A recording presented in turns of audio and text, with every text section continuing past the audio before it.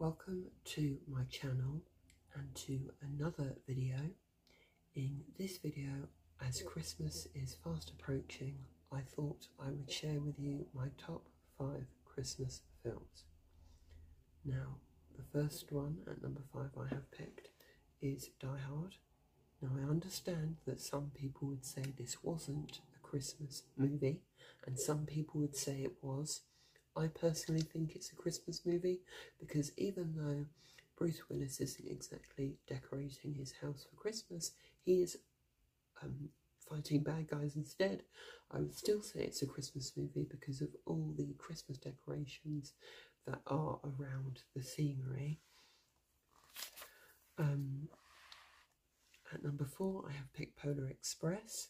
I enjoyed watching this film when I was a kid. I really felt as though it made me more excited for Christmas, and it's just a fun film to watch when the big day arrived and you run out of things to do. At number three, I have picked Nativity. Nativity is a great film.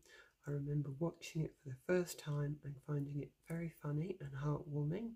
It also brought back so many memories of when I was in the nativity play and the joy I had the joy I had taking part in it.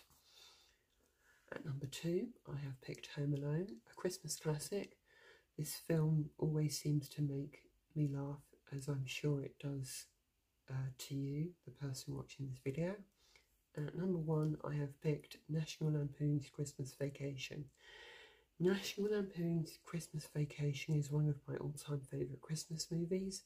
It puts me in the festive spirit and it's just a great Christmas movie overall, so I would go and watch it if you haven't already.